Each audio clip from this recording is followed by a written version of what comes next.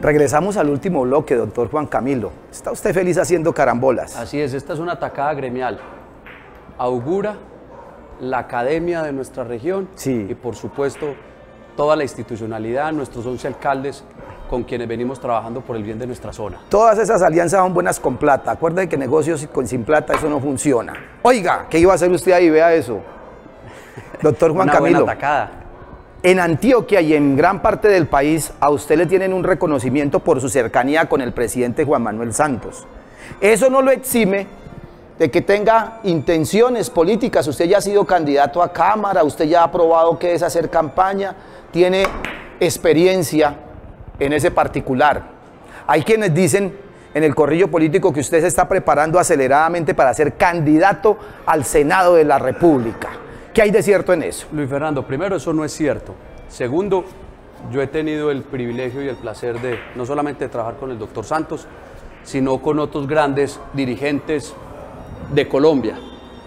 Yo creo que si hay algo en lo cual yo creería dar un consejo, es no correr en la vida pública y mucho menos en la vida política en Colombia.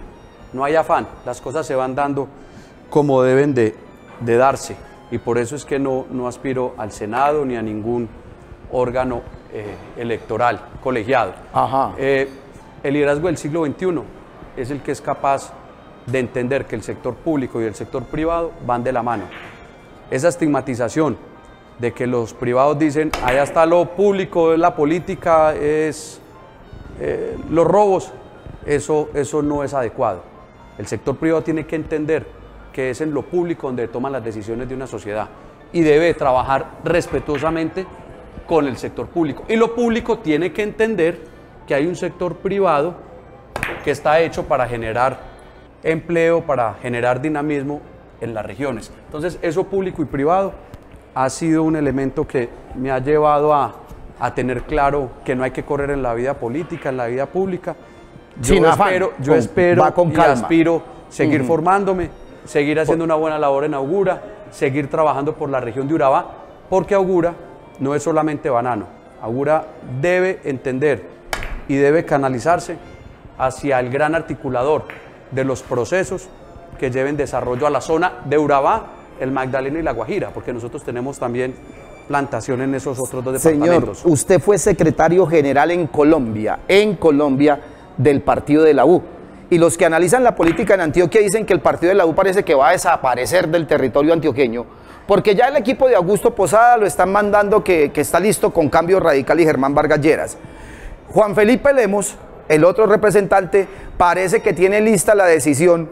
Aquí le suelto una. El hombre me dijo que antes de terminar octubre él tomaba la decisión, pero que estaba tomando mucha fuerza, regresar a Centro Democrático. Quedaría Germán Hoyos, el otro senador, que senador casi que poco conocido. Uno no entiende cómo saca tantos votos, pero la gente no lo reconoce mucho. Eh, y el partido empieza a, pa- a aparecer en una crisis. ¿Qué piensa usted de eso? Eh, dos cosas. Eh, la primera es que me siento muy orgulloso de haber sido secretario general a nivel nacional de, de un partido político. Yo no me la paso hablando mal de, de la clase política. Para mí fue una gran experiencia en el momento más importante de dicha colectividad. Y lo segundo, mire, los presidentes de los gremios. Tenemos que tener claro que no somos ni opinadores políticos ni tenemos causa electoral propia.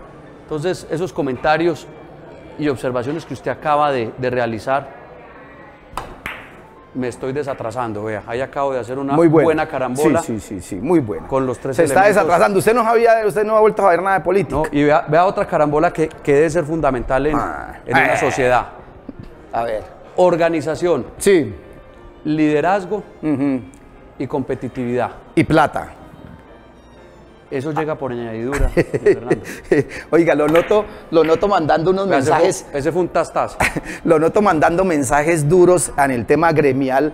Por ejemplo, a- a- repito, al tema de los ganaderos, que ellos sí son muy activos. ¿Usted definitivamente piensa que los gremios metidos directamente en política le hacen mucho daño al país? Eso es un error, pero más que los gremios es sus cabezas, sus presidentes. No pueden convertirse en opinadores de carácter electoral, ni mucho menos ideológicos, porque uno representa muchas vertientes. Entonces, mal, mal servicio le presta uno a la institucionalidad de un gremio si lo vincula en contiendas electorales. Eh, y vuelvo y repito, el que le caiga el guante, que lo chante como lo tiene usted ahí, Luis Fernando, entendiendo que los gremios... Vea esa carambola. Hombre. Ahí estuvo bien la carambola. Los gremios tienen que trabajar y ser respetuosos de los gobiernos de turno, pero por supuesto también ser crítico cuando, cuando dé lugar. ¿Hasta cuándo se va a quedar en Augura? Vea otra. Inaugura hasta que Dios y mis jefes lo dispongan. Hasta que Dios y Juan Manuel Santos se lo digan, porque dicen que eso es orden de Juan Manuel Santos. No, señor, mi jefe es una junta directiva de personas muy respetables y de grandes dirigentes de la región de Urabá. Y el designio de Dios lo acepto Listo. cuando llegue. Señor, le quiero agradecer mucho por haber venido. Sé que usted vive muy ocupado entre el Urabá antioqueño, Medellín, Bogotá, vive corriendo, así que muy amable por haber venido por haber tenido la tolerancia de compartir estos temas. Y le quiero decir una cosa, Mundo Arte queda en la 10 del poblado. Y Mundo Arte, además de compartir la posibilidad de Café La Riqueza, tiene la opción de disfrutar del mejor arte antioqueño, colombiano y mundial.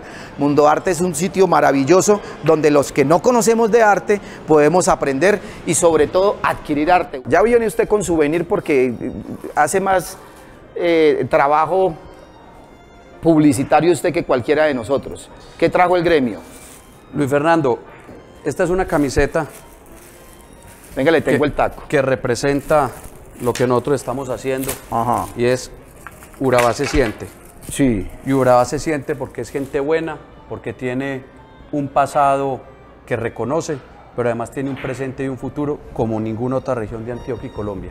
Vea. quería darle ese detalle. Es usted muy amable. Urabá se siente. Señor, mucho gusto. gracias nuevamente por venir. muchas gracias y a todos los televidentes que esta carambola gremial fue bastante eh, agradable. Listo, señor. Seguimos el chico y terminamos. A todos muy amables. Dentro de ocho días volvemos a encontrarnos aquí en la carambola política por Teleantioquia.